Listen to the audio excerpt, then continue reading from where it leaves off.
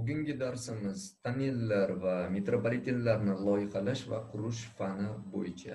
Navbatdagi ma'ruza texnik optik nivelirlar va nivelir reykalari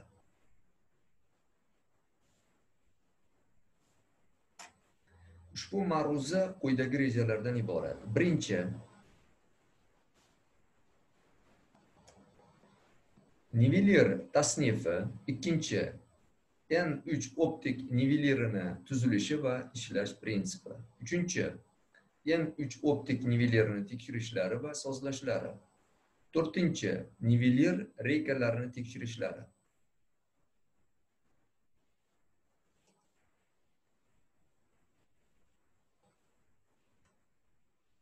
ma'ruzamizni birinchi rejasiga o'tamiz. Geodezik niveler bu joylarda o'zaro nuqtalar orasidagi balandliklar farqini aniqlovchi pribor hisoblanadi. Optik nivellerni asosiy vazifasi bu har qanday gorizont yo'nalishi tomonlariga barqaror gorizontal tekislikni hosil qilishidir. Geodezik nivellirlar bir necha belgilariga ko'ra quyidagi sinflarga bo'linadi. Birinchi konstruktiv tuzilishi bo'yicha optik mexanik nivellirlar optik elektron ya'ni raqamli nivellirlar hamda lazerli nivellirlarga bo'linadi. Sizlar ko'rib turgan bu albatta optik mexanik nivellirlar endi bu birinchi konstruktiv tuzilishiga ko'ra. Ikkinchi o'lchash aniqligi bo'yicha bo'linadi nivelirlar demak yuqori aniqlikdagi nivelirlarga mana sizlar ko'rib turgan yuqori aniqlikdagi nivelirlarga aniq optik nivelirlarga hamda texnik optik nivelirlarga bo'linadi. Endi birinchisi yuqori aniqlikdagi nivelirlar bu joyda n05 na1 n2 degan priborlarga ega ikki tomonlama bir kilometr yo'lga o'rtacha kvadratik xato bir millimetrga teng yoki kichik bo'lishi kerak. Aniq optik nivelirlar masalan n3 n3k nsm2a bu priborlar aniq nivelirlar sinfiga kiradi ya'ni ikki tomonlama bir kilometr yo'lga o'rtacha kvadratik xato uch millimetrga teng yoki kichik bo'lishi kerak. Keyingisi texnik optik nivellirlar bu priborlarga masalan nt nt bu ham faqat bu priborlar bu ikkala priborga qaraganda bu pribor bu pribordan avvalroq chiqqan shuning uchun hozirgi vaqtda ishlab chiqarishda juda ham kam qo'llaniladi lekin bemalol ishlab chiqarishda nivellash texnik nivellash ishlarini bajarish mumkin. Ham bunda ham bu priborda ham. Endi keyingisi n o'n ham texnik optik priborlar tarkibiga kiradi. Chunki ikki tomonlama bir kilometr yo'lga o'rtacha kvadratik xato o'n millimetrga teng yoki o'n millimetrdan kichik bo'lishi kerak. Shu talabga javob beruvchi priborlar keyingi sifati bu vizir chizig'ini o'rnatilishi bo'yicha. Ya'ni bular bo'lishi mumkin. Balans silindrik adilakli mana yon tomonida silindrik adilakga ega bo'ladi. Bunda ham yoki kompensatorli bo'ladi. Endi kompensatorli pribor mana bu n3k ya'ni traditsion priborlarni ichida n3k va boshqa priborlarda ham mavjud. Asosan hozirgi chiqib turgan zamonaviy priborlarda hammasi silindrik adilakka ega emas bular hammasi kompensatorli hisoblanadi. Hamma priborlarda kompensatorli. Chunki gorizontal vizirlash chizig'ini kompensatorni o'zi o'sha gorizont holatiga keltiradi. Bu juda ham nivellirlash ishlarini bajarishda qulay. Traditsion mahalliy priborlarda asosan balans silindriga adilakli hisoblanadi. Hozirgi zamonaviy priborlarda aytib o'tganimdek hammasi kompensatorli moslamaga ega. Endi mahalliy traditsion optik nivellarda predmet tasvirini ko'rinishi teskari yoki to'g'ri ko'rinishda tuzilgan bo'ladi. Zamonaviy sizlar ko'rib turgan bu optik priborlarda hammasi ya'ni optik nivellashda predmet tasvirini ko'rinishi faqat o'ng ya'ni to'g'ri ko'rinishda bo'ladi. Predmet qanday bo'lsa xuddi shunday ko'rinishga ega bo'ladi. Endi bu joyda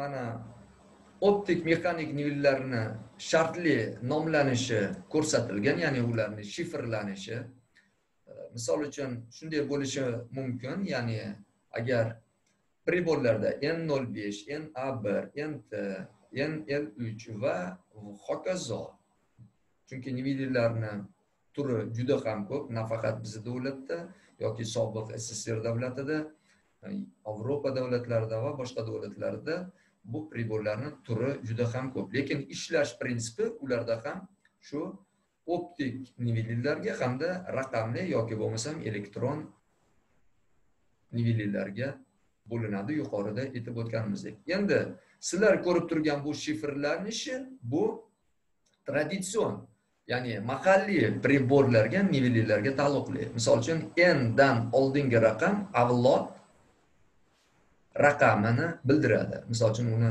qanchalik avval yoki keyin chiqarilganligini. Agar n bo'ladigan bo'lsa endi n o'z o'zidan nivellerni bildiradi. Ndan keyingi raqam aniqlik o'lchami? Ya'ni mana ko'rib turibsizlar nol besh. Demak nol butun o'ndan besh millimetr o'rtacha kvadratik xato. Yoki bo'lmasam n uch. O'rtacha kvadratik xato uch millimetrga teng. Va hokazo. T degan harf bo'lsa bu texnikaviy ular tarkibiga kiradi. Agar k bo'ladigan bo'lsa bu joyda mana n o'n k. Kompensatorlik ya'ni bu joyda silindrik adilabga kelgan emas kompensatorlik. O'sha gorizontal chiziq ya'ni gorizontal chiziq vizir nuri mana bu shu priborda shu priborda. O'sha kompensator o'zi gorizont holatiga olib keladi. Uni silindrik adilak holatida olib kelish shart emas ya'ni to'g'irlash agar p bo'ladigan bo'lsa ayrim priborlarda p ham yoziladi. O'sha traditsion priborlarda demak bu predmet tasvirini ko'rinishi to'g'ri deyilgan. Chunki asosan mahalliy priborlarda hozirgi zamonaviy priborlarga taqqoslaganda avval teskari ko'rinishda ishlab chiqarilgan ya'ni o'sha to'g'ri holatiga keltirilguncha predmetlar teskari holatida ko'ringan. Endi bundan bir e, ellik yil oldin asosan teskari holatidagi ko'rish trubasidan predmetlar ko'rilgan. Keyin rivojlanish geodezik ishlarni o'lchash qulayliklari konstruktiv qismlari o'zgarib bu hozirgi holatda ko'rish trubasi predmetni to'g'ri holatiga olib keldi hamda to'g'ri holatida predmetni ko'rib o'lchash bajariladi. Hozirgi zamonaviy priborlarda asosan hammasi to'g'ri ko'rinishga ega. Ya'ni ko'rish e, predmeti. Endi agar shu shifrlarida l degan raqam bo'lsa bu o'z o'zidan qiya vizir nurli ya'ni mm, luch наклонный degani hamda yoki gorizontal burchak o'lchash limbiga ega degani. Ya'ni o'sha pribor ya'ni mana shu priborda bu priborlarda unday moslamaga ega emas ya'ni gorizontal burchak o'lchamaydi bular faqat oraliq masofa hamda e, nisbiy balandlik o'lchashga mo'ljallangan. Gorizontal burchak o'lchovchi priborlarga ham ega borlar bor. Misol uchun bu priborda ham yo'q.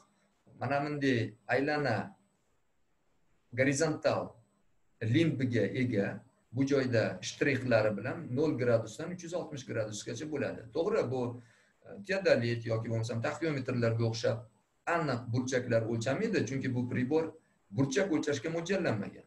Lekin yuqori aniqlikda bo'lmaydigan joylarni gradusini o'sha joylarda nuqtalar o'rnatishda o'rnatishda ya'ni past aniqlikdagi nuqtalar o'rnatishda shu gorizontal burchakdan foydalanish mumkin. Lekin bu e, aniq e, burchak o'lchashlarda foydalanilmaydi.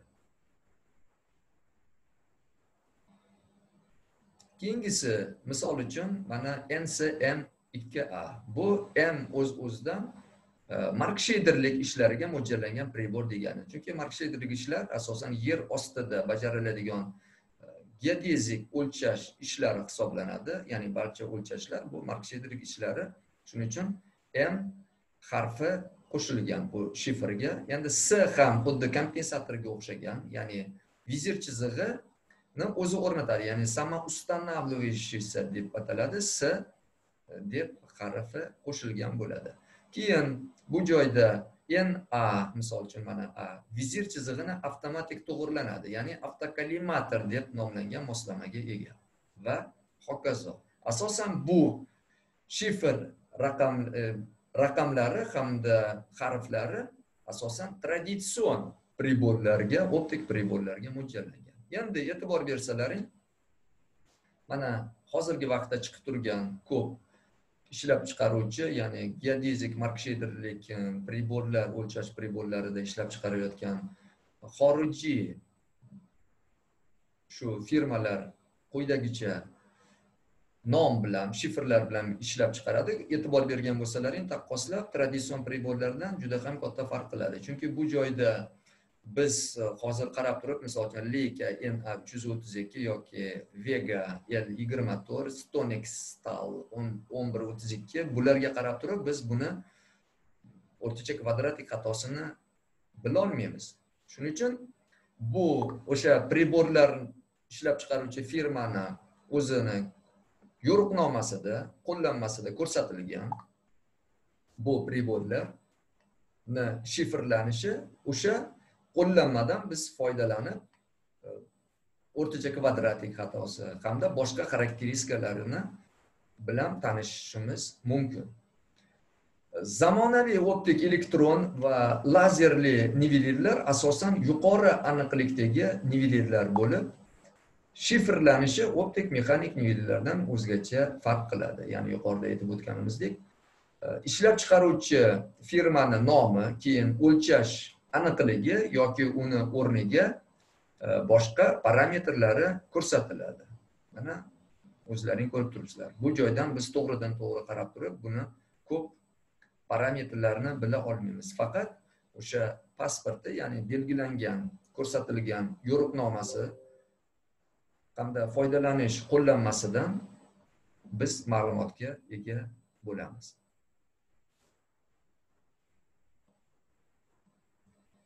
Ikkinchi rejaga o'tamiz.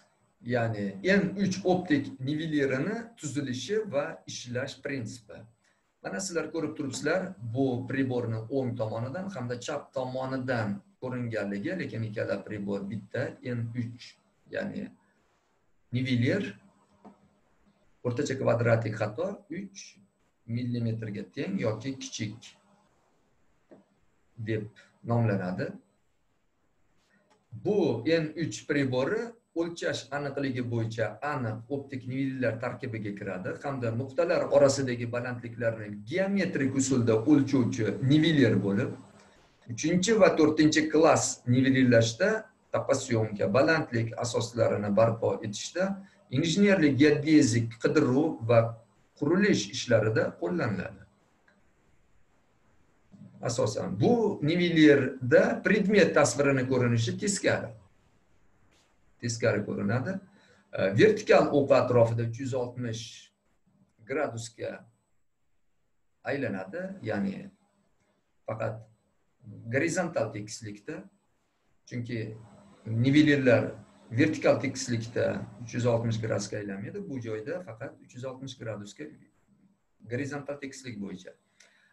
Vertikal tekislikda esa plyus minus yigirma minutga e, farq ya'ni og'ish bo'ladi bu joyda ham gorizontal holatda. Lekin bu degani biz sanoq olishimizda shu xatolik bilan o'lchaymiz degani emas. Albatta o'sha yigirma grad yigirma minut yigirma minut plyus minus yigirma minut.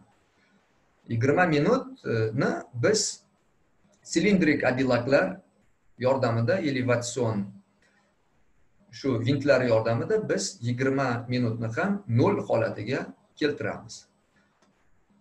Endi bu nivelir ya'ni n uch pribori asosan quyidagi qismlardan iborat. Mana ko'rib turibsizlar. Birinchi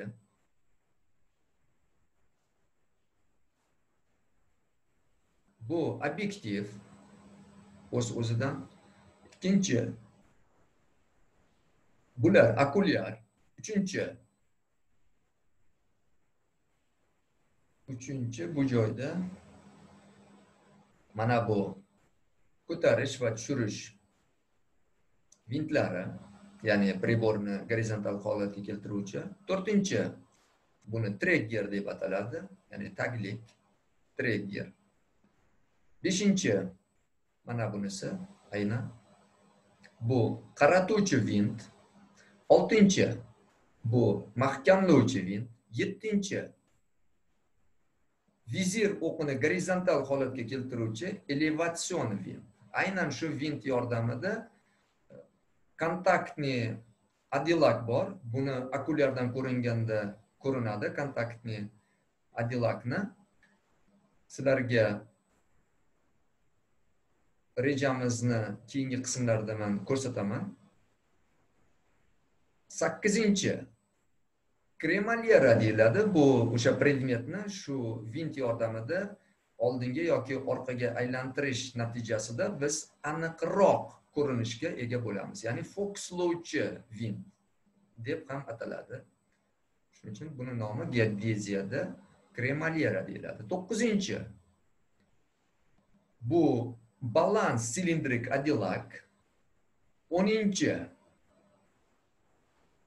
Mana bu bu doiraviy balans adilak chunki doiraviy bilan silindrik adilakni farqi biz birinchi priborni o'rnatganimizda shu doiraviy adilak yordamida qo'polroq priborni gorizontal holatga keltiramiz. A aniqrog'i keyingisi etapi bu silindrik adilak yordamida uni gorizontal holatga keltiramiz. O'ninchini aytdim. Endi o'n birinchi o'n birinchi mana bu. o'n birinchi bu maqsadga qaratuvchi deb nomlanadi. Shu joyda shunday bir tirqishli moslama bor hamda ikkinchisi bu o'n ikki ikkalasi bir biriga bog'liq mushka deyiladi. Ikkalasi bitta chiziqda joylashgan. Shu moslamalar yordamida biz e, predmetga ya'ni nivelir reykasiga qo'pol ravishda birinchi qarata olamiz. Aniqrog'i keyin qaratuvchi bu qotiruvchi oltinchi mahkamlovchi vintni qotirganimizdan keyin qotirganimizdan keyin yettinchi vizir o'qini gorizontal holatga keltirib mm, keyin biz beshinchi mana bu vint yordamida biz o'sha predmetga qaratishimiz mumkin. Birinchi qotiriladi oltida ham beshinchi vint yordamida biz aniqroq qaratamiz. Agar teodolitni sizlar hozir ko'z oldilaringga keltirsalaring demak teodolitda ham mahkamlovchi vinti bor edi hamda mikrometrni vinti bor edi. Mikrometrni bu joyda shu qaratuvchi vint. Ya'ni uni biz aniqroq avval qotiramizda keyin aniqroq o'sha sanoq olganimizda nivelir reykasidan shu vintdan foydalanamiz. O'n ikkinchini bilan o'n birinchini aytib o'tdim. Demak o'n uchinchi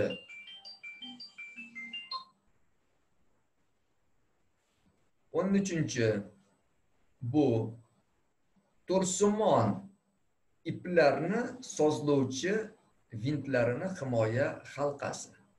Mana bu joyda ham bu joyda ham. Shu joyda xabarlaring bor bilasizlar teodolitga taqqoslab ko'radigan bo'lsak Э, ham gorizontal ham vertikal э, to'rsimon iplardan iborat. Endi bu joyda bu niveler bo'lganligi uchun asosan hamma iplari asosan gorizontal iplardan iborat lekin bu bu ham xuddi teodolit to'rsimon iplariga o'xshaydi. Ham gorizontal asosiy iplari hamda yuqorigi shtrix hamda pastki shtrixlardan iborat. Uni hozirgi rejamizni man keyingi qismlarda ko'rsatib o'taman. O'n to'rtinchi mana bu mana bu shu ko'rish trubasi.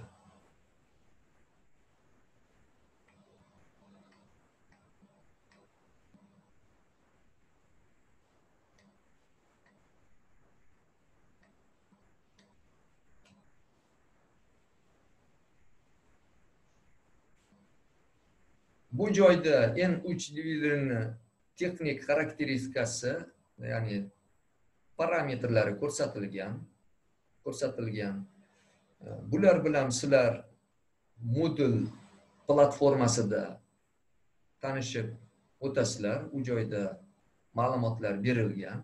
Shuning uchun bularga to'xtalib o'tilmaymiz mana ko'rib turibsizlar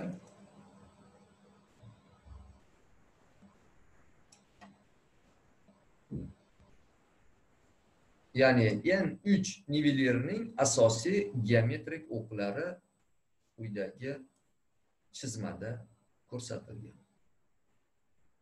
Ya'ni asosiy geometrik o'qlari oladigan bo'lsak agar mana u u bir u bir doiraviy adillak o'qi u ikki u ikki balans silindrik addelak o'qi uni mana bu aynan shuni o'qi chunki bu joyda o'ng tomondan bo'lgani uchun ko'ringani yo'q. Demak u ikki u ikki balans silindrik addelak o'qi keyingisi tt bu nivelirning aylanish o'qi. V v ko'rish trubasining vizir o'qi. Endi bu joyda mana bu v v hamda g g bizga albatta bu hozir ko'ringani yo'q. Keyingi hozir rejamizni pastki qismlarida bor chizma ya'ni to'rsimon ipni ko'rsatib o'taman. To'rsimon iplarning e, vertikal va gorizontal shtrixlari ko'rsatilgan.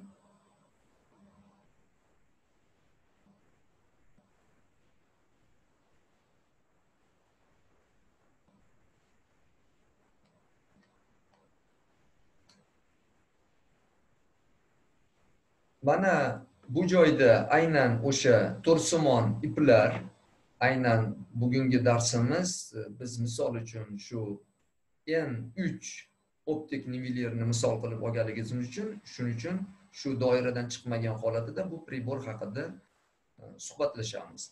Demak biz e, predmetga qaratganimizda endi predmet asosan bu joyda nivelir reka hisoblanadi. Misol uchun mana har doim nol dan boshlovchi raqam pastda bo'ladi hamda yuqoriga qarab ko'payib boraveradi. Endi bu asosan o'rtacha standartda uch metrli bo'lishi mumkin yoki to'rt metrli bo'lishi mumkin. Mana uch metrli reykani oladigan bo'lsak reyka rn uch ya'ni bu joyda e, reyka nivellerni ya'ni uchinchi klass ya'ni uchinchi sinfga mo'ljallangan deb atalgan. Shu n uch nivelleriga mo'ljallangan reyka o'zini reykasida sanoq olishlar olib boriladi. Hamda nivellellash ishlari bajariladi. Mana sizlar ko'rib turgan n uch nivellerini ko'rish trubasidan to'rsimon iplarni ko'rinishi. Endi bu joyda asosiy gorizontal ip yordamida biz sanoq nisbiy balandlikni o'lchashda sanoq olamiz reykadan. Mana bu joyda. Yuqoridagi shtrixlar esa bular o'sha pribordan ya'ni nivellerdan reykagacha bo'lgan masofani o'lchashda biz dalnamer masofani o'lchashimiz mumkin. Xuddi mana bu joyga o'xshab. Mana misol uchun e, bu joyda bir butun yuzdan sakson uch. Endi asosan nivelirlashda sanoq olishlar shunday olinadiki mana sizlar ko'rib turgandek o'rtangi ipdan o'n besh raqam bo'ladigan bo'lsa и bu o'n olti. Demak o'n besh u qirq olti. Ya'ni har bitta mana bu qora oq qora oq shashkalar har bittasi o'n millimetrga teng ya'ni bir santimetrga. Endi nivelirlash aniqligi millimetr bo'lganligi uchun biz hammasini millimetrda yozamiz hamda millimetrda hisoblab natijani oxiri chiqaramiz.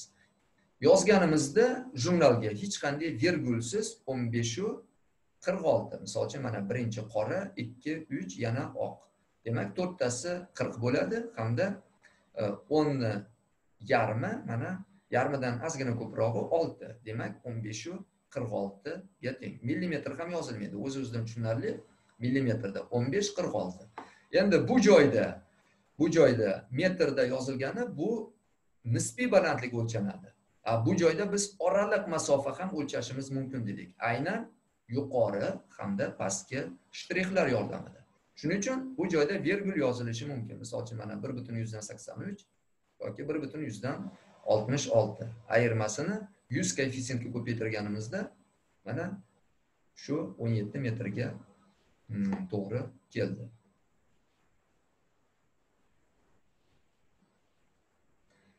Endi e, demak asosiy vazifasi nivellerni shu nisbiy balandliklarni o'lchash ya'ni nuqtalar orasidagi nuqtalar farqi nuqtalar balandlik nuqtalari farqini aniqlash. Aynan balandlik nuqtalari farqi bu nisbiy balandlik h kichkina hisoblanadi. Hamda chunki biz nivellirlashda oraliq masofani ham o'lchab borishimiz kerak. Shuning uchun oraliq masofani dannamiya reykalar yordamida ham yuqori ham pastki shtrixlar dannomer shtrixlari yordamida oraliq masofani ham o'lchab ketamiz.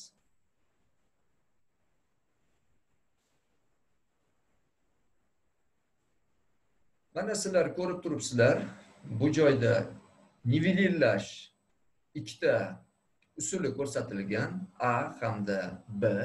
Ya'ni n uch optik nivelirni e, ishlash prinsipi quyidagicha. N uch optik nivelirning vizir o'qi vizir o'qi balans silindrik adilak yordamida gorizontal holatda holatga keltiriladi. Va gorizontal nur hosil qilinib mana bu chiziq hosil qilinib niveli reykalardan endi bu joyda a orqa reyka bu joyda b oldingi reyka deb ataladi. Ushbu ikkita reykalardan sanoqlar olinadi. Albatta avval orqa reykadan keyin oldingi reykadan. Hamda nisbiy balandlik h aniqlanadi. Agar geometrik nivellillash o'rtadan usuli qo'llanilsa o'rtadan usulni qo'llanilishi unda unda h teng